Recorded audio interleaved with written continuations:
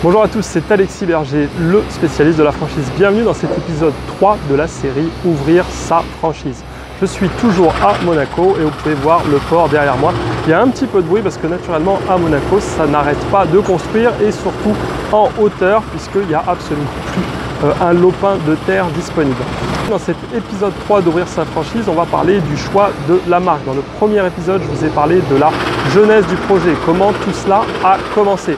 Dans l'épisode 2, je vous ai parlé de comment trouver le secteur d'activité qui vous correspond et dans cet épisode, eh bien, nous allons parler de comment trouver la marque maintenant que vous avez le secteur d'activité qui vous correspond. Bienvenue dans la série Ouvrir sa franchise. Je m'appelle Alexis Berger et je suis entrepreneur depuis l'âge de 19 ans. Grâce à la franchise, en seulement 3 ans, j'ai pu me créer un actif d'un million d'euros. Aujourd'hui, j'ai décidé de vous montrer l'envers du décor d'un franchisé, de l'idée de création jusqu'à l'ouverture du point de vente. À travers chaque vidéo de cette série, vous allez vivre avec moi toutes ces étapes. Au niveau du choix des marques, il y a beaucoup de secteurs où vous aurez un très large choix. Par exemple, dans les vêtements, dans l'habillement, dans tout ce qui est euh, restauration aussi, il y a vraiment énormément un choix de marques très très euh, vaste et très important. Encore une fois, regardez en priorité pour moi les, budgets que vous avez de disponibles, l'argent que vous pouvez investir. C'est pas la même chose d'ouvrir un petit snack par exemple que d'ouvrir un McDonald's. C'est pas la même chose d'ouvrir un petit magasin de prêt-à-porter de 100 mètres carrés ou d'ouvrir un orchestra sur 1500 mètres carrés. Donc voilà, c'est vraiment une donnée importante et ensuite vous devez trouver une marque performante. La performance, c'est le plus important. Par exemple, dans, les vêtements, eh vous avez euh, des marques qui sont euh, à la mode, on va dire, qui ont le vent en poupe et d'autres qui sont plutôt sur le déclin. Naturellement, il ne va pas falloir partir sur une marque qui est en perte de vitesse parce que ça veut dire que vous allez ouvrir, en année 1, vous allez faire, on va dire, allez, 500 000 euros de chiffre d'affaires, en année 2, 450 000, en année 3, 400 000.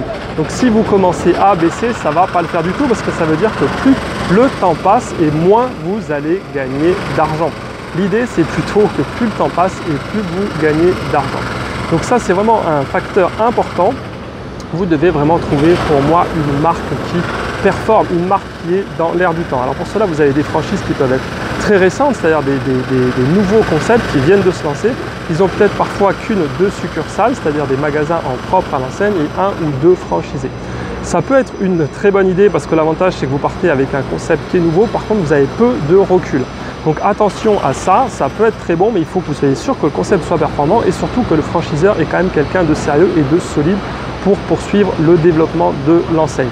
Pour un premier point de vente, je ne suis pas persuadé que c'est ce que vous deviez faire. Ensuite, vous avez les marques qui ont déjà une dizaine de points de vente, on va dire entre 10 et 30, et je pense que là, ce sont les marques les plus intéressantes. C'est les marques qui sont vraiment en train de se développer et surtout, vous avez encore des possibilités sur des villes principales. Parce que le problème, si vous prenez des réseaux, on va dire matures, très matures, c'est-à-dire qui ont plus de 50 points de vente, entre 50 et 100 points de vente, voire plus, là, le territoire va déjà être maillé euh, si vous êtes en France, très très densément. Et donc vous, il va vous rester que les emplacements les moins bons, on va dire ceux que les franchisés existants n'ont pas encore pris. C'est pour moi le gros problème, par exemple, de McDonald's. Aujourd'hui, McDonald's ouvre dans des villes de taille moyenne, et, encore c'est un euphémisme, même des petites villes.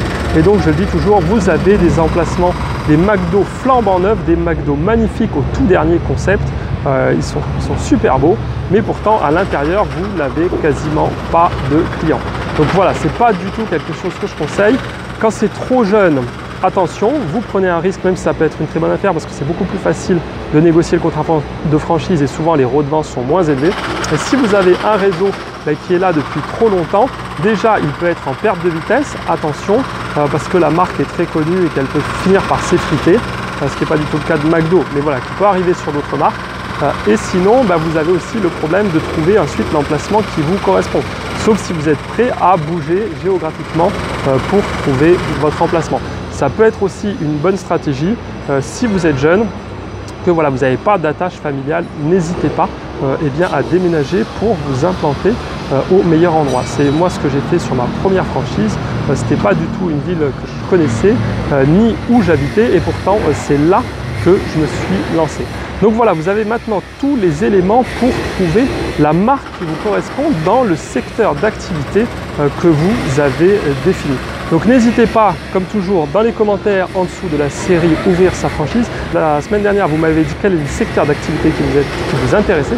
Aujourd'hui, dites-moi la marque qui vous intéresse. Dans la prochaine vidéo, on entrera en contact avec le franchiseur.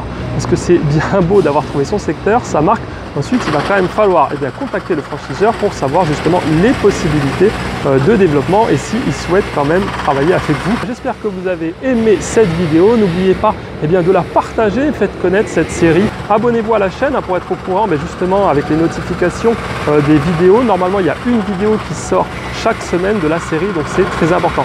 Si vous ne me connaissez pas, que vous tombez sur moi pour la première fois, n'hésitez pas à regarder ma vidéo de mon parcours. Un lien va s'afficher en ce moment à l'écran. Elle dure un petit peu plus d'une heure et ça vous montrera ben, justement les marques avec lesquelles je travaille et les magasins que je possède. Je vous dis à très bientôt. Ciao, ciao